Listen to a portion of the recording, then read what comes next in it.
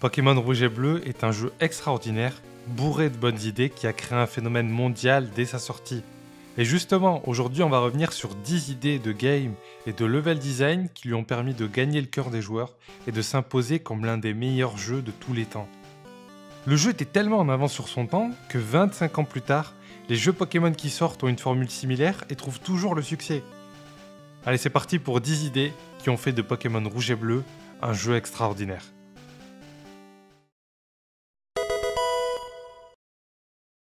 La première idée géniale que l'on rencontre sur Pokémon Rouge et Bleu, au-delà de l'intro qui en met plein la vue, c'est le choix entre les trois starters. Alors pourquoi c'est une idée géniale? Eh bien premièrement, ça permet de nous attacher beaucoup plus vite à notre Pokémon que si on nous l'avait imposé. D'ailleurs, on peut même lui donner un surnom pour les mêmes raisons. Et ça déjà, c'est très malin. Parce que je vous le rappelle, on est dans le premier jeu Pokémon. Mais ça permet aussi, et c'est peut-être le plus important, à notre rival de prendre le Pokémon qui a l'avantage du type contre le nôtre, et donc de nous imposer tout au long de l'aventure d'avoir un plan contre son équipe. Si on fait l'aventure en ne gardant que le starter sans trop réfléchir, son équipe va être très difficile à battre. Ça permet donc de nous imposer une difficulté qui va nous obliger soit à attraper d'autres Pokémon tout au long de notre aventure, qui compenseront ce désavantage de type, soit à avoir une stratégie bien rodée.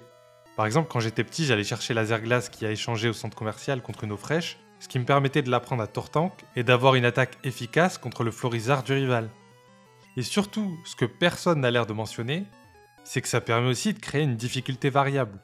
Je m'explique, Bulbizarre est plus facile à entraîner et à utiliser puisqu'il a un gros avantage de type sur les 4 premières arènes, qu'il apprend une attaque de plus que les deux autres starters et qu'il évolue plus vite dans sa forme finale, niveau 32 contre 36 pour les deux autres.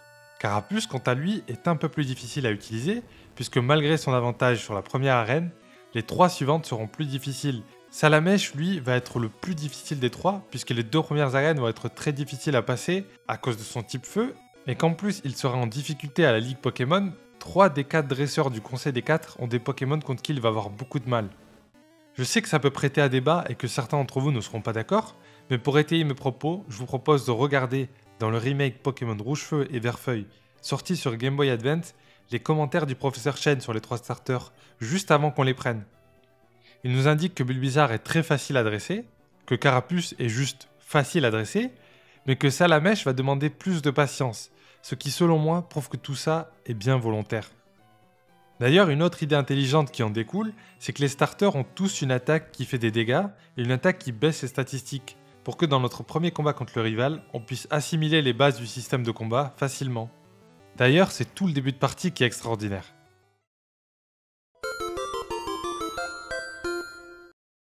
Le début de partie est très difficile à designer, surtout sur une nouvelle série qui amène un concept différent comme Pokémon, et pourtant il est bourré de bonnes idées qui rendent le début de partie et la découverte du monde des Pokémon douce et agréable. Au-delà des starters dont j'ai déjà parlé, sur la route qui nous mène de Bourpalette à Jadiel, on rencontre des Ratata et surtout des Roucoul, qui pour la plupart ne connaissent qu'une seule attaque, Tornade. Du coup, quand on arrive à Jadiel, nos Pokémon ont perdu pas mal de PV et ont aussi perdu des PP, comme nous l'indique le panneau sur la route d'ailleurs, et pour être bien sûr qu'on passe au centre Pokémon, c'est aussi le tout premier bâtiment qu'on voit en arrivant, et il possède un écriteau, tout comme la boutique d'ailleurs. En un coup d'œil, on comprend que ce sont des bâtiments importants et qu'il va falloir s'y rendre. Ensuite, après Jadiel, on a la forêt de Jade, qui est remplie d'aspicots avec d'arvenins, et donc qui a une bonne chance de nous empoisonner, le premier statut du jeu qu'on voit et qui vide notre Pokémon d'énergie. Mais on trouve aussi quelques antidotes dans la forêt, qui nous amènent à comprendre comment on peut soigner les statues dans le jeu. Et pareil, juste après Argenta, on tombe sur une dresseuse avec Rondoudou qui nous fait berceuse et endort notre Pokémon. Un nouveau statut dans le jeu, celui du sommeil, qui nous empêche d'attaquer tant qu'on n'est pas réveillé. C'est très malin comme manière de procéder, c'est toujours une nouveauté à la fois et bien dispatché dans la première partie du jeu. Et toujours dans la forêt de Jade, on va trouver une Pokéball et on va retrouver des Pokémon de type insecte. Des types insectes qui ont la particularité d'être faciles à attraper, qui montent vite de niveau et surtout qui évoluent très vite, permettant rapidement aux joueurs de constater ce principe d'évolution. Et c'est comme ça tout au long du jeu. On intègre les mécaniques une par une et de manière très simple. Autre bonne idée, à Argenta, un PNJ nous conduit au musée et nous conseille de le visiter. On visite donc le musée, on nous parle de Mélophée et de Pierre Lune, et comme par hasard, juste après, on traverse le mont Sélénite, où on trouve des Mélophées et des Pierre Lune. On essaie la Pierre Lune sur Mélophée, et bam, Mélophée évolue. On découvre alors que certains Pokémon peuvent évoluer avec des objets. Et c'est comme ça tout au long du jeu, et si jamais on a raté l'information, plusieurs PNJ vont nous la rappeler, et à Céladopole, un PNJ va carrément nous expliquer que son Tétart a évolué en Tartare grâce à une pierre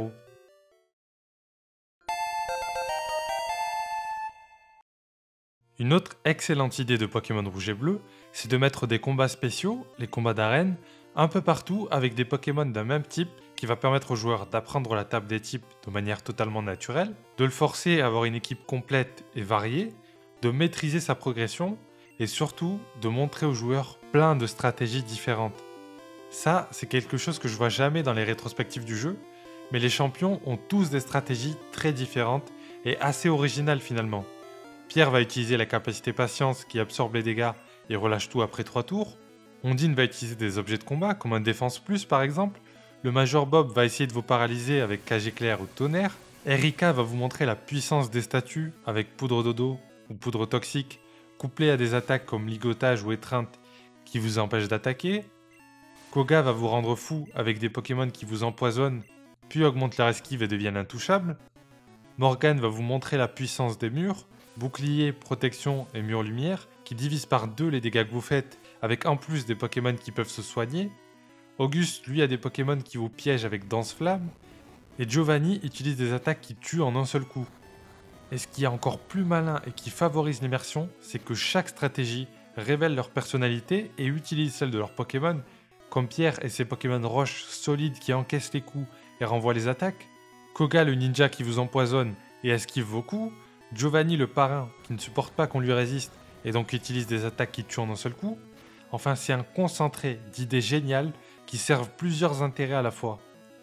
Et ce qui sert encore plus à révéler leur personnalité, c'est les parcours pour arriver jusqu'au champion. Si les deux premières arènes sont assez vides finalement, il n'y a pas vraiment de puzzle pour arriver jusqu'au champion pour qu'on ait le temps d'appréhender ces combats particuliers, dès la troisième, le Major Bob qui a un passé militaire nous apprend l'autorité en nous forçant à fouiller les poubelles, Erika, qui est fleuriste, a une personnalité qui nous rappelle les fleurs, très douce et élégante, mais qui, quand un dresseur vient la défier, change soudainement d'attitude et se met à devenir présomptueuse, ce qui rappelle les piquants d'une rose. Koga, le ninja qui a truffé son arène de murs invisibles. Morgane, championne de Tipsy, va mettre votre intellect à rude épreuve avec un petit labyrinthe et des téléporteurs. Auguste, qui est décrit comme étant farceur, va vous forcer à répondre à un quiz sur les Pokémon. Et Giovanni, en bon parrain de la Team Rocket, va s'entourer de plein de dresseurs redoutables et d'un petit labyrinthe. Toutes ces idées sont exceptionnelles et apportent énormément à l'univers Pokémon.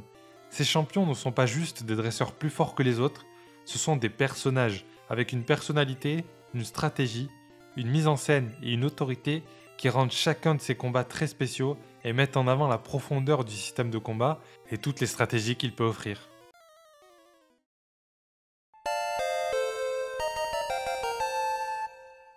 L'une des plus grosses innovations apportées par Pokémon Rouge et Bleu, c'est que le rythme du jeu est laissé au bon vouloir du joueur. C'est au joueur de faire sa propre aventure en parlant à qui il veut, en attrapant les Pokémon qu'il veut et au rythme qu'il veut. Il y a des joueurs qui vont avancer tête baissée, d'autres qui vont prendre leur temps et tout visiter avant d'avancer, et le jeu est construit pour tous les types de joueurs. J'en veux pour preuve la manière dont sont placés les dresseurs adverses, vous pouvez éviter la plupart des combats en évitant de rentrer dans leur champ de vision mais le jeu se transforme alors en un jeu de réflexion par moment. Et ça, c'est très malin de la part des développeurs. Vous êtes quasiment tout le temps libre et vous choisissez le rythme du jeu. Si vous voulez avancer à tout prix, vous pouvez, à vos risques et périls, mais si vous prenez le temps de parler aux gens, d'interagir avec ce que vous pouvez, vous serez toujours récompensé soit par des objets, soit par des informations, soit par des easter eggs, ou parfois carrément par des Pokémon. Et au-delà de ça, le jeu va lui-même accélérer et baisser le rythme du jeu et gérer tout seul une partie de cet aspect. Les villes sont assez calmes, assez tranquilles. Les grottes et les labyrinthes sont là pour casser le rythme et créer un sentiment de frustration. Les routes sont assez directes et assez grandes pour accélérer la progression et faire ressentir un sentiment de liberté aux joueurs. Et les lieux à visiter sont aussi très directs, que ce soit l'océan ou le cimetière de l'avant-ville par exemple. Le rythme de l'exploration est laissé libre aux joueurs qui peut créer une aventure qui lui ressemble. Et l'effet de bord qui découle de tout ça, c'est que chaque joueur va avoir une expérience différente sur le jeu et qu'il a une grande rejouabilité. C'est pour ça que personne n'est jamais d'accord avec les jeux Pokémon, chaque joueur vit sa propre aventure à son image. Refaire l'aventure avec un autre starter ou une autre équipe rend l'aventure complètement différente.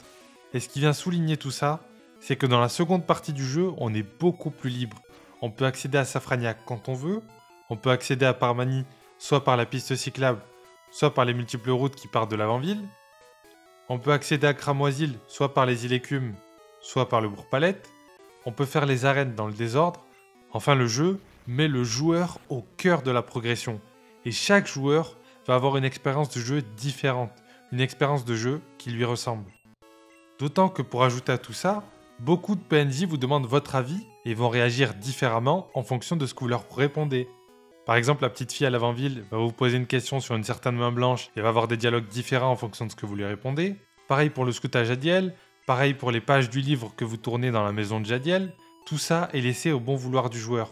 Vous êtes souvent consulté et l'exemple le plus parlant, c'est au dojo de Safrania où on vous laisse carrément le choix entre Kikli et Tignon une fois que vous avez vaincu son maître.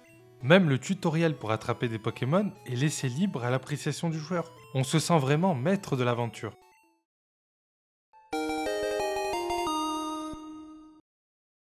Et évidemment, la musique va de pair avec tout ça et elle est géniale. C'est toujours difficile d'analyser de la musique de jeux vidéo, surtout de la musique de Game Boy, mais déjà on peut saluer le travail musical exceptionnel avec plus d'une quarantaine de musiques qui collent très bien l'action et rajoutent de la personnalité à chaque lieu. Par exemple, la musique de l'avant-ville va rajouter un côté effrayant et dérangeant. Alors que la musique du casino, elle va être très enjouée et très frénétique pour souligner le côté joueur. Et en écoutant chacune d'entre elles, on peut les regrouper en quatre groupes. Le premier groupe, c'est la musique des villes qui est calme, paisible et dans le ton de la ville, comme celle de l'avant-ville qui vient souligner le côté effrayant encore une fois, ou celle de Carmin-sur-Mer qui rappelle la mer.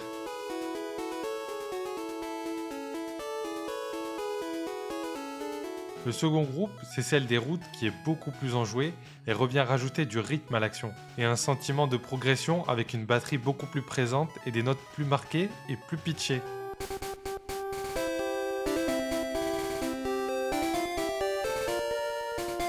Le troisième groupe, c'est évidemment celle des combats, qui est beaucoup plus rythmée et enjouée par rapport aux autres, et qui va être différente en fonction du danger qui est en face.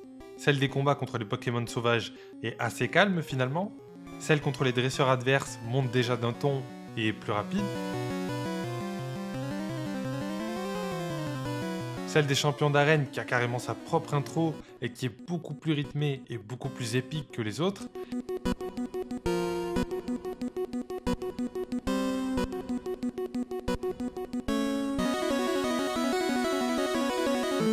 Celle du dernier combat qui est complètement folle, très rapide et dans un ton presque mythique au combat.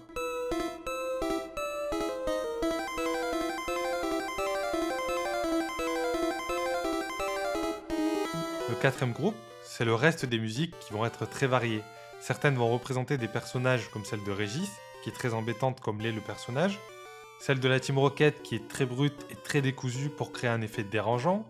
Les musiques situationnelles comme celle de la bicyclette, très rythmée pour rappeler la vitesse, et celle du surf, assez calme et tranquille pour rappeler le côté agréable de se faire transporter par un Pokémon. Ou celle de la victoire qui est très épique est très solennel en préparation des combats qu'il faudra livrer à la Ligue Pokémon. Et ce qui est intéressant, c'est que les musiques des villes et des routes vont devenir de plus en plus rapides au cours de l'aventure, soulignant ce sentiment de progression. Il faut ajouter à ces musiques un nombre incalculable d'effets sonores qui ajoutent un feedback énorme, que ce soit sur les attaques en combat. Quand on fait une attaque super efficace, on a un effet sonore très satisfaisant. Et inversement, quand on fait une attaque pas très efficace, quand on déplace un rocher, l'effet sonore rappelle le rocher qui rappe le sol en étant déplacé. Enfin, il y en a partout et tout le temps, et ça rajoute énormément à l'immersion qui est déjà très efficace au monde. Et ça, c'est vraiment quelque chose à souligner, parce que la plupart des jeux Game Boy ont moins d'une dizaine de musiques. C'est même pas rare qu'ils en aient qu'une seule d'ailleurs. Les Pokémon arrivent avec plus de 40 musiques différentes et des effets sonores à gogo. Le travail musical est grandiose, à la hauteur du reste du jeu.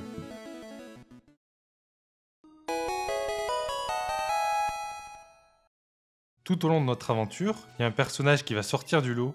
Ce personnage, c'est notre rival. Déjà, chose assez originale, on peut donner un nom au rival. Ça permet dès le tout début du jeu de le personnifier et d'y rajouter de la proximité avec notre personnage. Le rival de la première génération est un personnage extrêmement bien designé. Déjà, comme je l'ai déjà dit, il va obliger le joueur à capturer des Pokémon ou avoir des stratégies différentes, vu qu'il va avoir un avantage de type contre nous. Il est tout le temps en avance sur nous. Il bat les champions avant nous, il visite tout avant nous, et même si on le bat à chaque fois, il a un côté un peu mystique. C'est aussi le seul personnage du jeu qui a une pause de victoire quand il nous bat, ce qui le rend encore plus important. Il a aussi quelques émotions tout au long de l'aventure, comme dans la tour de l'avant-ville où il vient enterrer son ratatak. Et quand on arrive au bout du conseil des quatre, Peter nous informe que quelqu'un a triomphé de la Ligue Pokémon avant nous et qu'on doit le battre pour être couronné maître de la Ligue et grand champion. Et cette personne, c'est notre rival. Ça, c'est une idée vraiment géniale. Dans la première partie du jeu, on va le rencontrer quasiment à chaque ville, et à chaque fois, il va vous donner des indices sur la suite, mais de manière assez subtile, tout en ayant une attitude très provocante et très arrogante. Par exemple, dès le tout début du jeu, il vous parle de sa sœur et d'une carte. On comprend alors qu'on peut se rendre chez sa sœur pour y trouver une carte. Si vous essayez d'aller à la Ligue Pokémon après avoir atteint Jadiel, il va vous expliquer qu'il vous faut des badges.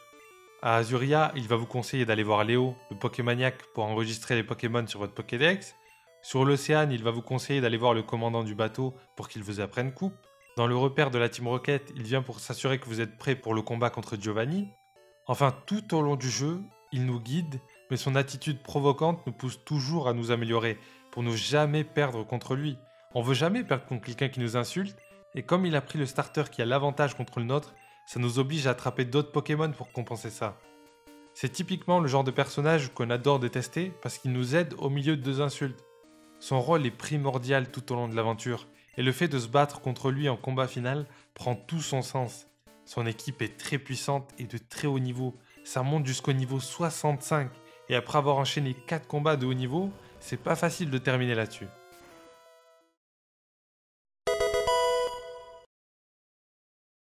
Une des grandes forces de Pokémon Rouge et Bleu, c'est que son concept, il va le porter à fond. Tout tourne autour des Pokémon. C'est un Pokémon qui nous bloque la route et nous empêche de progresser vers le sud. C'est un Machoke qui creuse le terrain à Carmin-sur-Mer. C'est eux qui hantent la tour de l'avant-ville. Enfin, ils sont partout. Les Pokémon ne sont pas des outils dont on se sert pour combattre. Ce sont des compagnons de route, des amis, des membres de la famille dans certaines maisons. Ce n'est pas notre monde auquel on a rajouté des Pokémon. C'est un nouveau monde où tout tourne autour des Pokémon. Et plus on avance dans le jeu, plus ça sera prononcé et plus les Pokémon seront dangereux. Et c'est pour ça que Pokémon plaît à autant de gens. Chacun interprète l'univers comme il veut et il fait ce qu'il veut. Certains y jouent pour l'aspect collectionnite et attraper tous les Pokémon, d'autres juste pour les combats, d'autres plutôt pour l'univers. Enfin, chaque joueur va venir chercher ce qu'il aime et mettre ça au cœur de son aventure. Et c'est appuyé par le professeur Shed dès l'introduction, qui nous explique que pour certains ce sont des compagnons et pour d'autres ce sont juste un moyen de combattre. Et le Pokédex est une autre idée géniale qui va aller dans ce sens. Il permet d'enregistrer les Pokémon que l'on rencontre automatiquement et de savoir où les trouver pour les attraper. Une fois attrapé, on a droit à une description du Pokémon, une véritable encyclopédie, et je me souviens que quand j'étais petit, j'attrapais tous les Pokémon que je voyais juste pour lire leur description, parce que certaines étaient effrayantes, d'autres très impressionnantes. Enfin, c'est un extra qui donne encore plus envie d'attraper les Pokémon et qui nous aide à les trouver en plus. Ainsi, on apprend que Karabaf utilise ses oreilles comme des gouvernails, que Abo mange les œufs d'Hérocool et de Ratata, que Raichu doit garder sa queue en contact avec le sol pour décharger son surplus d'électricité, que Nidoking broie les de ses proies avec sa queue. Enfin, tout ça rajoute énormément de personnalité aux différents Pokémon et nous montre qu'ils sont très dangereux et que nos Pokémon sont indispensables dans ce monde-là. Et c'est dans cette optique qu'ont été créées les capsules secrètes, les CS.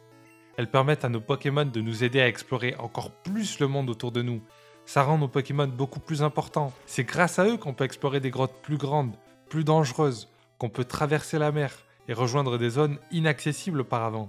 C'est eux qui déplacent des rochers énormes, c'est eux qui nous permettent de revenir en arrière facilement en volant.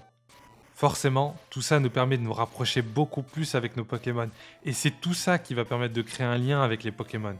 En plus, ça nous oblige à avoir des Pokémon différents, puisque ces attaques sont de types différents mais le placement des Pokémon est très intelligent et prend tout ça en compte.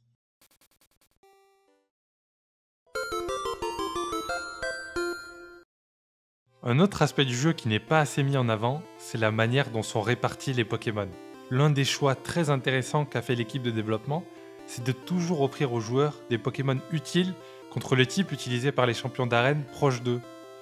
Le plus évident, c'est à Karma-sur-Mer, avec la cave Topiqueur qui offre des Pokémon de type sol qui sont excellents contre les Pokémon électriques du Major Bob, mais c'est le cas à chaque fois. Sauf pour Pierre où on n'a pas beaucoup de Pokémon disponibles avant, parce que les développeurs voulaient qu'on utilise des starters pour se rendre compte du principe des faiblesses et des résistances. Mais pour tous les suivants, il y a ce qu'il faut pas loin.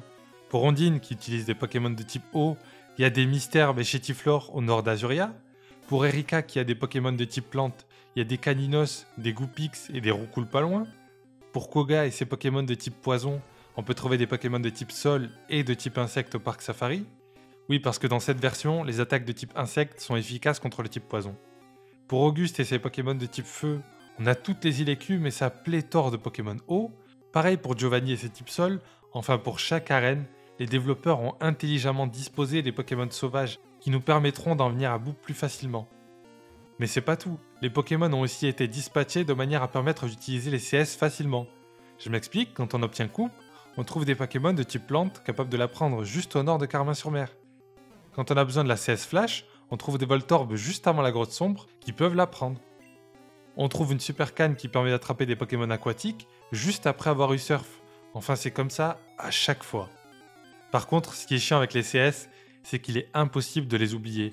Une fois apprise, la capacité reste bloquée sur le Pokémon. C'est dommage pour la CS Coupe et Flash qui ne sont pas super intéressantes. Et le placement des Pokémon fait aussi sens avec toutes ces villes et tous ces environnements différents un bateau à Carmin-sur-Mer, une tour hantée qui sert de cimetière à Cramoisil et donc bourrée de Pokémon de type spectre, un laboratoire à Cramoisil où on va pouvoir faire revivre nos fossiles, un manoir qui sert de laboratoire abandonné avec les restes de recherche malsaines et donc des Pokémon tout aussi malsains, avec des Smogogo et des gros morves, une centrale abandonnée remplie de Pokémon électriques, un casino où on peut échanger nos jetons contre des Pokémon rares, un safari qui propose à la capture des Pokémon très sauvages, Azo qui enregistre sur notre Pokédex des Pokémon très rares. Enfin, on traverse tout le temps des environnements variés qui nous donnent un vrai sentiment d'aventure, de visiter des lieux singuliers, et en plus ça permet de rencontrer des Pokémon complètement différents d'un lieu à l'autre.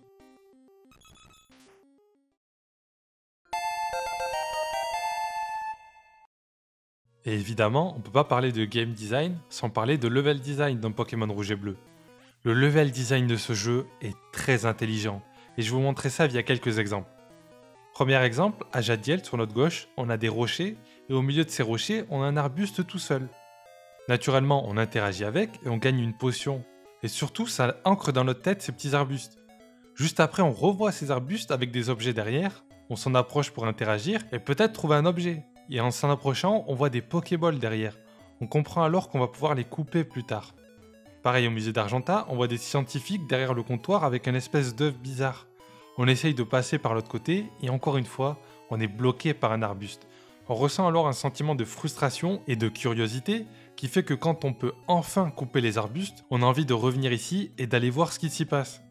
Et comme par hasard, juste après avoir eu coupe, on revient ici via la cave Topiqueur, on est donc à Argenta et on peut aller parler à ces scientifiques au musée et récupérer la vieille ambre qui donnera plus tard un Terra un Pokémon unique dans le jeu. Et pareil en sortant d'Azuria. Un chemin nous mène à droite et il est bloqué lui aussi par un arbuste. Et il faudra y revenir pour progresser dans l'aventure après Carmin-sur-Mer. Et pour revenir là-dessus, après avoir battu le Major Bob, on traverse la grotte Topiqueur et on se retrouve très surpris à Argenta. On explore la partie de la route qu'on ne pouvait pas explorer auparavant et on arrive devant un assistant du prof Chen qui nous donne une nouvelle CS si jamais on attrapait 10 Pokémon différents. Normalement, tout le monde devrait avoir 10 Pokémon différents à ce niveau-là, mais si jamais c'est pas le cas, il y a des herbes partout autour pour attraper plein de Pokémon. Alors ici, c'est le moment le plus déboussolant du jeu. On récupère Flash donc, mais après il peut arriver qu'on soit un peu perdu et qu'on ne sache pas trop où aller pour la première fois qu'on fait le jeu. Et pour cause, c'est vrai que ça peut manquer d'indications et les PNJ ne sous-entendent pas qu'il faut revenir sur nos pas après avoir obtenu Flash. En 2021, ça peut être considéré comme une erreur de game design, mais en 1996, c'est assez courant d'avoir ce genre de moment, et surtout, on nous a déjà montré où aller en sortant d'Azuria. Et imaginons qu'on se perde parce qu'on ne fait pas attention en sortant d'Azuria. On peut utiliser une carte et la carte est très utile parce qu'elle montre la progression du jeu dans Pokémon Rouge et Bleu. En fait, en appuyant sur haut et bas, on peut voir les lieux suivants ou précédents qu'on doit visiter. Et si on appuie sur O après Carmin-sur-Mer, on tombe sur l'Océane et puis sur la route 9 à côté d'Azuria. Ce qui veut dire qu'il faut revenir à Azuria et partir sur la route 9. Mais certains d'entre vous vont me dire qu'il se peut qu'il n'y ait pas la carte puisqu'elle est optionnelle au début du jeu. Et bien comme par hasard, il y a des cartes dans toutes les maisons d'Argenta. Il y a d'ailleurs des cartes dans la plupart des maisons du jeu. Ça n'est donc pas du tout une erreur de game design ou quoi que ce soit de ce genre, c'est juste un moment où les développeurs ont voulu forcer le joueur à réfléchir, à se débrouiller, se perdre éventuellement et trouver la solution par lui-même. Même si en 2021, c'est plus facile de crier à l'erreur de game design parce que les joueurs ne sont plus habitués à réfléchir sur un jeu vidéo. Et d'ailleurs, même si on ne vient pas récupérer Flash, on peut quand même passer la grotte dans le noir, c'est juste plus long et plus fastidieux, mais c'est possible. Et ça représente encore une fois la philosophie du jeu. Plus on s'implique dans le monde qui nous entoure, plus on se facilite la tâche, mais si on ne veut pas s'impliquer, on peut quand même avancer dans l'aventure. Et le dernier point assez malin avec le level design, c'est qu'ils ont caché des tas et des tas d'objets différents dans des endroits bien choisis. Par exemple, un rocher tout seul qui sort du lot, hop, on récupère une lune max. Une impasse qui a l'air de servir à rien, hop, on récupère une pierre lune. Enfin, le level design est très intelligent et rend nos déplacements plus intéressants que juste aller d'un point A à un point B. Et si vous avez bien compté, ça ne fait que 9 idées et pas 10. Eh bien la dixième, c'est à vous de la donner en commentaire. Quelle idée ou principe de game design vous a frappé sur Pokémon Rouge et Bleu? Je suis vraiment curieux de voir vos réponses et j'hésiterai pas à y répondre et à mettre en top commentaire les commentaires les plus intéressants. Ça m'a fait super plaisir de parler de game design et de reparler de Pokémon Rouge et Bleu un an après le début de la chaîne. Je traiterai d'autres jeux dans cette série, vous pouvez m'en proposer en commentaire comme d'habitude. Merci beaucoup d'avoir regardé jusqu'au bout et on se dit à la semaine prochaine. Salut